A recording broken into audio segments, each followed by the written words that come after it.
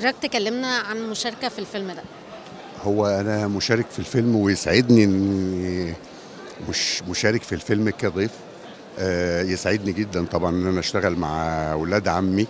آه، أولاد عمنا كلنا يعني. آه، محمد ورامي إمام. وبالنسبة لي آه، مفارقة إن أنا أشتغل معاهم هما الاثنين يعني. عن دورك. وهل هنشوفك برضو بدور حد شرير ولا؟ كمان خلاص الناس أخدت عليك في الأدوار الشر أكتر. هو بصراحة أنا أتمنى إنه هو شرير برضه مش مش هقول حاجة تاني غير كده. يعني واتمنى إن أنا أعمل حاجة طيبة يعني. بقى مع محمد عادل إمام ورامي إمام الاتنين طبعا من ريحة الفنان عادل إمام. فكلمنا كده أنت التعاون ده عامل إزاي؟ ما أنا قلت لحضرتك أنا سعيد جدا بإن أنا اشتغلت مع أولاد عمنا كلنا آه، محمد ورامي في فيلم وكواليسهم زي الفل كواليسهم يعني آه، أنا محمد بالنسبة لي أنا ببقى سعيد جدا لما بتقابل معاه اتقابلت معاه كتير قبل كده طبعا في حاجات كتير وبتسبب لي سعادة إن أنا أتقابل معاه يعني.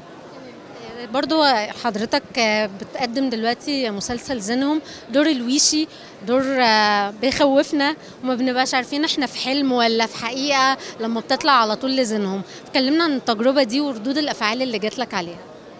هو هو أنا يعني آه، التجربة بالنسبة لي كأي تجربة بس يعني آه، آه، واقعيتها بإن هي موجودة مع مجموعة شباب لسه بي بي بي بيصعد.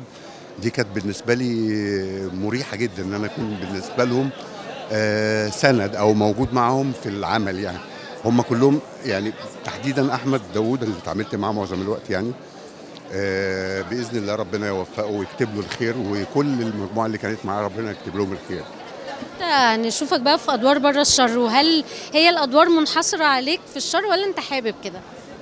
لا هو يعني هو اولا وأخيرا الممثل يعمل أي دور.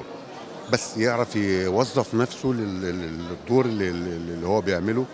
آه، أنا أتمنى إن أنا يجي لي ورق آه، آه، في شخصية حد طيب يعني مش مش شرير. السنة بقى بنودعها 2023 نستقبل سنة جديدة.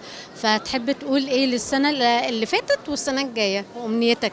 هو قبل أي حاجة طبعا المفروض إن أنا كنت أبتدي بكلامي بتحيه واحترام وتقدير لأهالينا في فلسطين وفي غزة خاصة.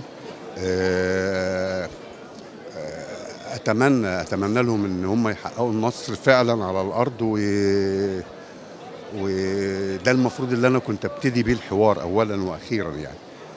بس. ميرسي جدا لحضرتك شكرا.